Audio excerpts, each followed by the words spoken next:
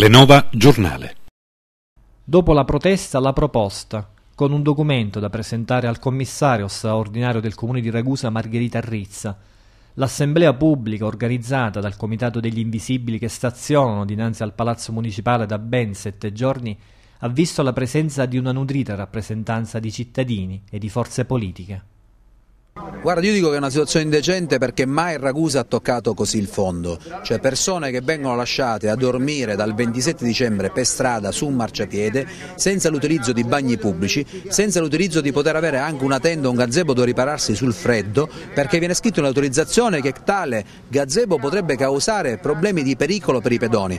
Tutto questo è perché qualcuno si è convinta che questa gente li può trattare come vuole, perché qualcuno dice io vengo da Palermo, so come trattare questa gente. Noi ragusani siamo persone per bene. Noi ragusani sappiamo cosa vuol dire fare sociale, noi ragusani sappiamo stringere le mani a chi veramente ne ha bisogno. Io ricordo a qualcuno che l'articolo 5 del comma del comune di Ragusa dice che qualsiasi cittadino ha diritto di udienza a essere ricevuto, a dire la propria. Questo a Ragusa non viene rispettato, mi dispiace di cuore. Questo è sempre stato il comune e la casa di tutti, sta diventando un palazzo di cristallo dove è proibito sapere ciò che accade, dove non c'è trasparenza. Questo non può funzionare. È la protesta della comunità ragusana che si raccoglie attorno a gente che non arriva non più a fine mese, che non arriva il giorno dopo.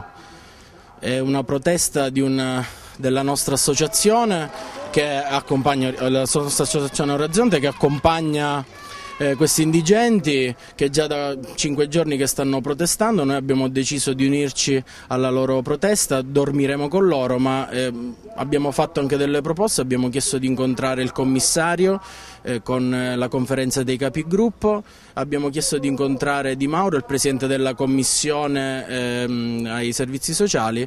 E quindi oltre alla protesta abbiamo anche diciamo, proposto il metodo con cui noi chiediamo, pretendiamo di risolvere, di risolvere il problema. Mentre ci sono dirigenti che guadagnano decine di migliaia di euro, ci sono centinaia di ragusani che muoiono. E noi non possiamo che prendere atto di questa situazione e continuare a protestare fin quando questa, questa, questione sarà risolta. Noi saremo accanto agli indigenti di giorno e di notte fino a quando questa questione sarà risolta. Dicevo prima ai ragazzi, ai cittadini ragusani, eh, la città di Ragusa dovrebbe essere grata a queste persone che oggi stanno manifestando perché hanno posto con forza un problema reale che colpisce tutti, che tocca tutti. Qua saranno presenti un centinaio di persone, ma la cosa riguarda circa 580 famiglie, senza contare poi ehm, le persone disabili, eccetera. Ma soprattutto bisogna capire, bisogna che i ragusani capiscano che loro sono solo il primo anello debole di questa catena ma la cosa toccherà a breve anche ad altre persone, quindi bisogna manifestare tutti assieme, tutti uniti. Finalmente dopo dieci giorni di protesta il commissario Rizza si è degnato di ricevere questi cittadini e vediamo domani quali saranno le proposte del commissario, ma sicuramente da, da questa assemblea usciranno le proposte dei cittadini e quindi andranno confrontate con le proposte del commissario. In ogni caso io posso, credo di, di poter parlare a nome di tutti, la lotta se il commissario non darà risposte serie, la lotta continuerà continuerà, perché queste, queste persone hanno bisogno di avere delle risposte, delle risposte che gli ridiano dignità soprattutto. Nota polemica da parte della CGL, Camera del Lavoro Territoriale di Ragusa, nei confronti dei provvedimenti assunti dal commissario straordinario Margherita Arrizzi a proposito dei tagli al welfare locale. Il comune, scrive la CGL, retto da un commissario straordinario che puntualmente disattende le richieste del sindacato sulla convocazione del tavolo permanente sul welfare, continua a colpire le fasce più deboli e bisognose, prima riducendo del 30% l'assistenza domiciliare agli anziani, poi annullando il servizio di trasporto per 80 utenti diversamente abili, infine, ma non sarà purtroppo l'ultimo atto, negando ad oltre 500 famiglie bisognose e indigenti il sussidio economico. E così la situazione non varia nella provincia. Il comune di Modica, dice la CGL, continua nella strada dello smantellamento dei servizi sociali. Fino a qualche anno fa, fiore all'occhiello di una città esempio virtuoso di politiche inclusive e di solidarietà reali. È stato approvato il predissesto, sforbiciando nei vari capitoli dei servizi sociali, compresi parti di quelli essenziali. Per non parlare di ciò che succede a Comiso, comune da un anno al dissesto finanziario, e a Scicli, dove da tre anni ormai ogni voce di capitolo di spesa per servizi è stata azzerata. È una situazione grave e insostenibile, scrive la CGL, assolutamente inaccettabile. Non è con la politica della macelleria sociale che si risolvono nel territorio i problemi nel lungo tempo della crisi. A 5 punti dalla zona playoff, l'Iblea 99 nel campionato di calcio a 5 Serie C2 ha conquistato 20 punti con una fondamentale vittoria in trasferta nell'ultima giornata di campionato dello scorso anno. Sabato al Palaparisi incontro con il Leontinoe Santa Tecla di Lentini. Eh, nella parte finale del, del giorno d'andata la squadra finalmente ha raggiunto l'equilibrio sperato all'inizio di stagione e diciamo che ha, ha intrapreso un altro, un altro cammino ben diverso dall'inizio in classifica. Una vittoria fuori casa che ha fatto morale, adesso c'è questo incontro di sabato con, Lentini. La, la, vittoria di Via Grande è stata fondamentale perché eh, giocavamo con una squadra che era tre punti sotto di noi e, e, e proprio in lotta per la salvezza come, come l'altro di noi. Quindi aver vinto lì in trasferta eh, vale doppio, valgono 6 punti perché poi giustamente se si perdeva potevamo essere raggiunti, invece abbiamo, bel, abbiamo fatto un bel salto di qualità in classifica. Presidente, una Ragusa che può comunque ambire a una zona utile nella griglia dei playoff? Ma da come è partita la stagione l'obiettivo dopo le, le traversie estive dei, eh, sono stati, si sono verificate alcune defezioni importanti rispetto all'anno scorso, eh, avevamo programmato per, eh, per, una stagione tranquilla, il tutto pare stia rispondendo alle, alle, alle attese dopo, un, dopo diciamo, un, inizio, un inizio abbastanza altalenante. Abbiamo iniziato con un po' di difficoltà, eh, però diciamo che la squadra ha iniziato a rispondere uh, alle mie prospettive, al mio ideale di gioco in ogni, in, ogni, partita non, non, molla mai, anche se andiamo in difficoltà a volte ma ci può anche stare, eh, risponde bene, eh, non molla mai, a carattere ed era quello che io volevo dall'Iblea perché so le doti che i miei giocatori hanno e quello che possono dare in campo ed era appunto quello che io volevo. Eh, I risultati positivi che abbiamo fatto eh, diciamo a fine campionato sono stati ottimi perché ci hanno messo in un punto di classifica eh, tranquillo. Eh, siamo arrivati a 5 punti dai playoff che neanche credevamo però il, con i sacrifici e il lavoro eh, che abbiamo fatto ci hanno premiati, però ancora ripeto il campionato è lungo, arriveranno momenti di difficoltà, momenti in cui su lavorare, però sono abbastanza fiducioso per il proseguito del campionato, quindi speriamo bene e speriamo che vada tutto ok nel miglior modo possibile. Campionato provinciale a 10 squadre, prosegue la preparazione della Deni Team, la squadra femminile di calcio a 5. Gli allenamenti si svolgono nella palestra Bellarmine e Crispi a Ragusa. Una passione che c'è da tempo, solo che solo, oggi, solo quest'anno abbiamo deciso di eh, far parte di questa squadra, questa nuova società creata dal nostro presidente Sergio Iacono. Eh, ci siamo uniti un po' delle ragazze che per passione avevano la, il calcio ma che non avevano mai giocato in una squadra a livello diciamo, adesso provinciale. Eh, diciamo che il campionato comincia ora il 13, il 13 gennaio e non si sa se la prima partita sarà spostata o rinviata perché dovremmo avere il derby qui in, in casa, quindi già come prima partita partita di campionato, una partita abbastanza importante, già si vedrà un po' il, si farà il punto della, della, della situazione. E, diciamo una, una, squadra abbastanza giovane, fatta di eh, persone che amano lo sport, che hanno avuto sempre la passione per questo, per questo sport e speriamo di fare, di fare bene. Una passione quella del portiere che parte da lontano. Sì, dall'età di circa 16 anni eh, ed è durata per tanto tempo, ho fatto parte di un'altra squadra, poi per un periodo ho lasciato perdere, adesso riprendo con la Deni Team sperando di continuare per più tempo possibile. Come ti sembra questo gruppo? È un gruppo giovane che certamente deve crescere, molto, deve avere molta più esperienza ma penso che col tempo potremo avere ottimi risultati.